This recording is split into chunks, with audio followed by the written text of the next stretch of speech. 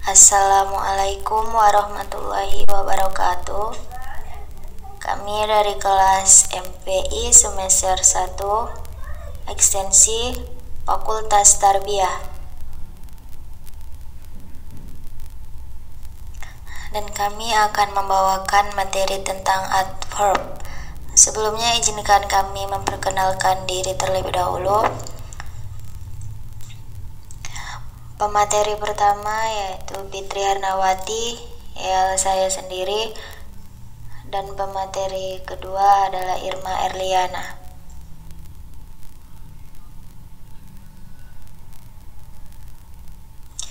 Baiklah langsung saja masuk ke pembahasan adverb. Adverb adalah kata yang digunakan untuk menjelaskan verb atau kata kerja adjektif atau kata sifat atau kata keterangan lainnya.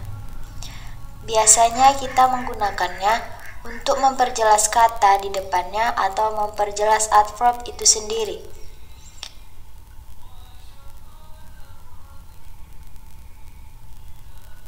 Atau dalam arti singkat dapat kita definisikan adverb itu berarti kata keterangan yang di dalamnya mencakup kata benda, kata kerja, dan kata sifat.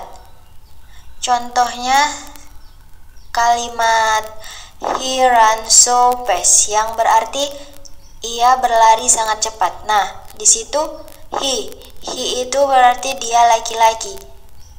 He itu menunjukkan kata benda. Nah, run berarti berlari.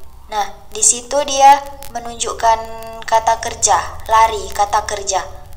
Kemudian ada kata so fast. So fast itu menunjukkan kata sifat.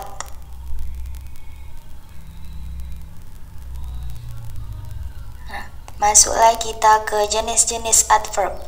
Adverb terbagi menjadi lima. Yang pertama, adverb of time, adverb of manner, adverb of place, adverb of frequency, and adverb of purpose.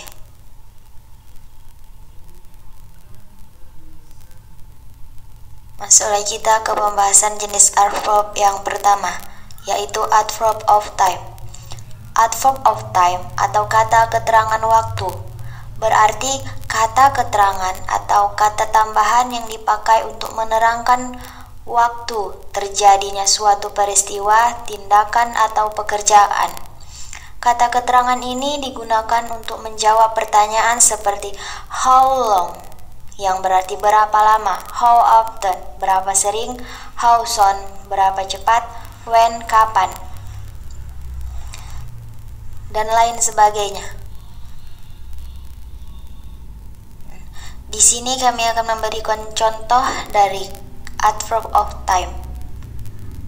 Kalimat pertama yaitu Ira went to police office yesterday. Yang artinya Ira pergi ke kantor polisi kemarin. Nah, di sini kata yang menunjukkan adverb of time terdapat di kata yesterday yang berarti kemarin. Berarti menunjukkan waktu kemarin. Nah, contoh kalimat yang kedua ada kalimat Three years ago, my brother got married. Artinya, tiga tahun lalu kakakku menikah. Kata yang menunjukkan adverb of time pada kalimat ini adalah three years ago, tiga tahun lalu. Berarti waktunya tiga tahun yang lalu. Next, yang ketiga. My mother go to market today. Artinya ibuku pergi ke pasar hari ini. Kata yang menunjukkan adverb of time terdapat di kata today hari ini. Berarti waktunya hari ini.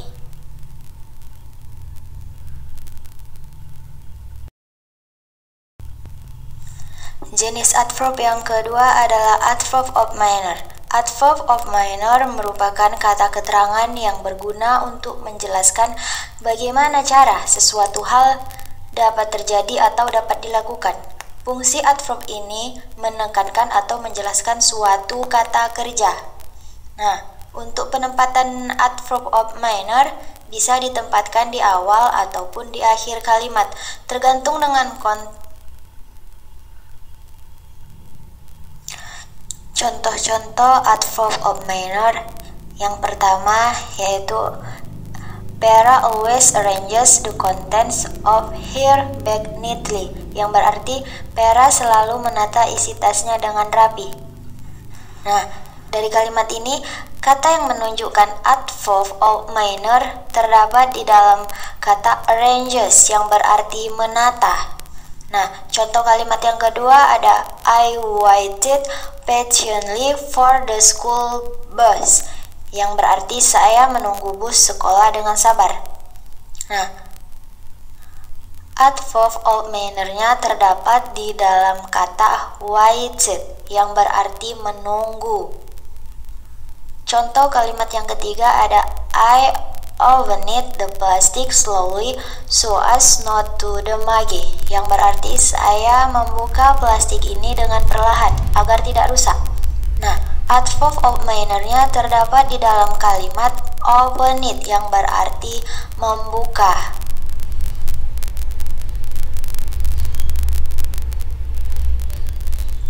Yang ketiga adalah adverb of place. Adverb of place adalah salah satu jenis dari unsur kalimat adverb atau kata keterangan yang memiliki fungsi sebagai penjelas tentang di mana suatu kegiatan terjadi atau dilakukan. Nah, singkatnya, adverb of place merupakan kata keterangan yang menunjukkan tempat. Umumnya, adverb of place terletak di ujung suatu kalimat. Namun, aturan tersebut tidaklah mutlak ada kalanya kata keterangan diletakkan di awal atau bisa juga di tengah-tengah kalimat, menyesuaikan dengan konteksnya. Contoh-contoh adverb of place di antaranya yang pertama kalimat I am go to school yang berarti saya pergi ke sekolah. Nah, di dalam kalimat ini Adverb of place-nya terdapat di dalam kata school yang berarti sekolah. Nah, contoh kalimat yang kedua adalah I already live in Jakarta for four years yang berarti saya sudah menetap di Jakarta selama empat tahun. Nah, di dalam kalimat ini adverb of place-nya terdapat di kata Jakarta menunjukkan kata keterangan tempat. Nah, yang ketiga adalah kalimat I've met the guy who live upstairs yang artinya saya sudah bertemu dengan pemuda yang tinggal di lantai atas. Nah, di dalam kalimat ini adverb of place-nya terdapat di dalam kata upstairs yang berarti lantai atas. Nah, mungkin itu saja contoh yang dapat kami paparkan di dalam adverb of place.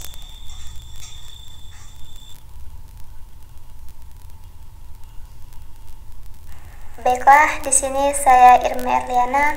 Pemateri kedua saya akan menjelaskan apa itu adverb of frequency. Bella, adverb of frequency adalah kata keterangan yang menyatakan seberapa sering sebuah tindakan atau kegiatan yang dilakukan. Dengan mengetahui pengertian dari adverb of frequency, maka seseorang akan mengetahui intensitas atau seberapa rutin hal yang dilakukan tersebut.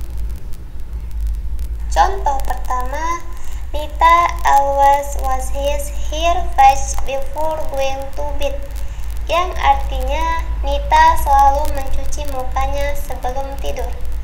Dari contoh pertama yang termasuk dari adverb of, of frequency yaitu always selalu.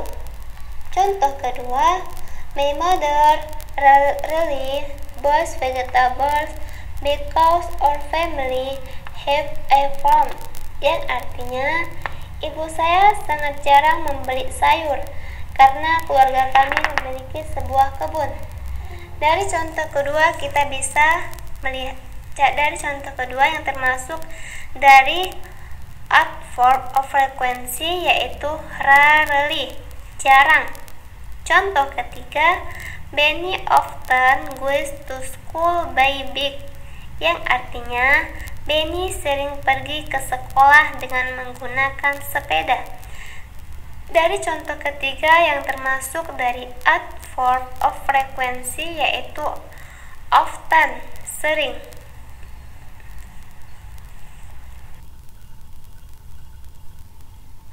Oke, selanjutnya saya akan menjelaskan apa itu form of purpose form of purpose atau juga bisa disebut dengan art form of relation.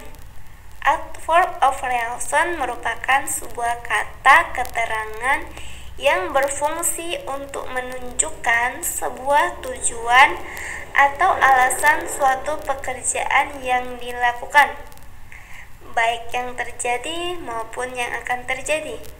Untuk contohnya seperti su let's to in order because so that purposely therefore at dan tentunya kita bisa menggunakan kata why. Kata why untuk mengajukan pertanyaan yang berhubungan dengan art for a purpose tersebut. Yaitu contoh pertama, he sick and therefore he can work for today yang artinya dia sakit dan karena itu dia tidak bisa bekerja untuk hari ini. Dari contoh pertama yang termasuk dari at verb of purpose yaitu therefore karena itu. Contoh kedua, he always in library and read many books every day he could a nickname the book from boy in my class yang artinya dia selalu berada di perpustakaan dan membaca banyak buku setiap hari. Oleh sebab itu, dia telah mendapatkan julukan si bocah kutu buku di dalam kelasku. Dari contoh kedua, yang termasuk dari verb of purpose yaitu su, so yang artinya oleh karena itu.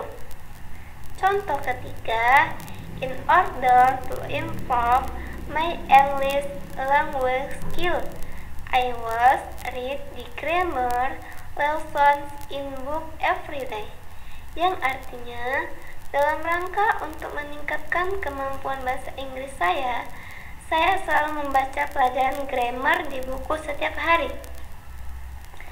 Dari contoh kedua ketiga yang termasuk dari art form of purpose yaitu in order to untuk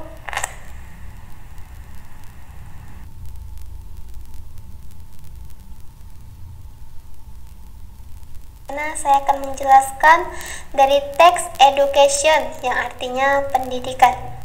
Dari teks education itu kita bisa mendapatkan beberapa adverb. Teman-teman bisa melihat kata yang bergaris bawah. Yang pertama, Africa contains, yang artinya di benua Afrika.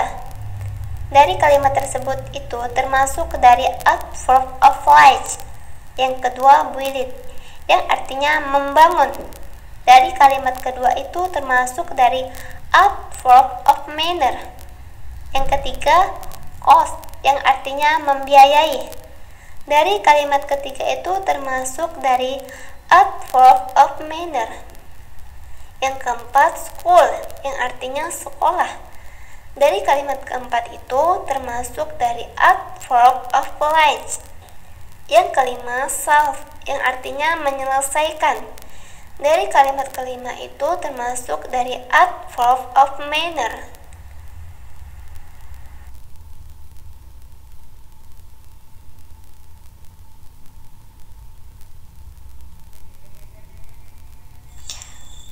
Demikianlah hasil dari presentasi kami. Terima kasih. Wassalamualaikum warahmatullahi wabarakatuh.